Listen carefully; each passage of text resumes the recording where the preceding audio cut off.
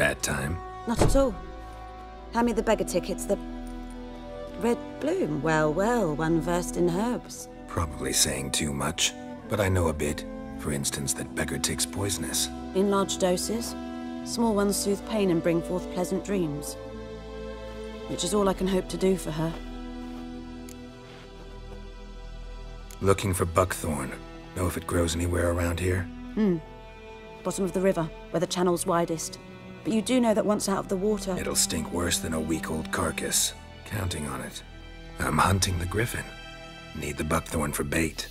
I was thinking...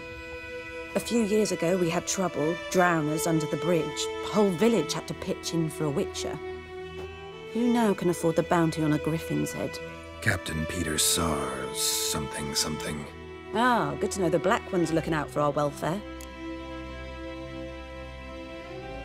Doubt Emperor Emhyr cares about you, but this captain just might. Seems like a decent man. There are no decent men in the army. There are only orders. Not from here, are you? A lot of bitterness in you. Too much for someone who's spent her life in a hut in the middle of nowhere. True. And you're in a hurry.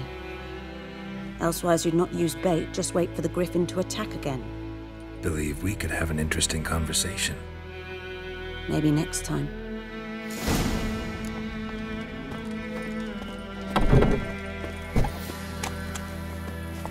Come on, Roach.